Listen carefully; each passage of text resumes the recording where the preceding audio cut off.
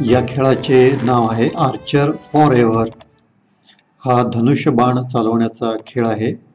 तुम्हाला धनुष्य आणि बाणाने नेम धरता येतो. स्क्रीनवर जागोजागी अचानक उभ्या राहणाऱ्या बुजगावण्यासारख्या आकृत्यांवर तुम्ही नेम धरू शकता.